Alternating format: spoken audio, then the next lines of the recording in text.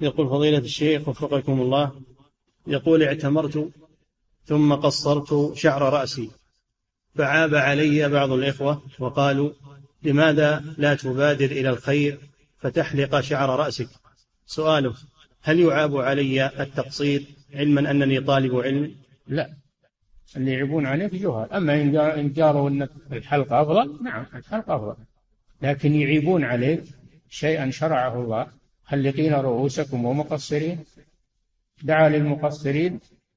مرة ودعا للمحلقين. ثلاث مرات. التقصير جائز ونسك فلا يعاب على من فعله. لكن أن يقال له إن الحلق أفضل لا بأس. نعم.